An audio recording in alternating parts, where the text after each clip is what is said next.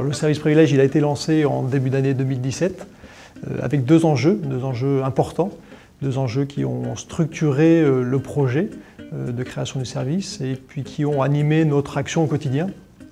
Donc ces deux enjeux en termes de satisfaction client et puis de conseil et de développement. Il est composé d'experts, de, neuf experts, donc des experts en banque au quotidien, des experts en assurance, des experts en financement et puis des experts en gestion de patrimoine.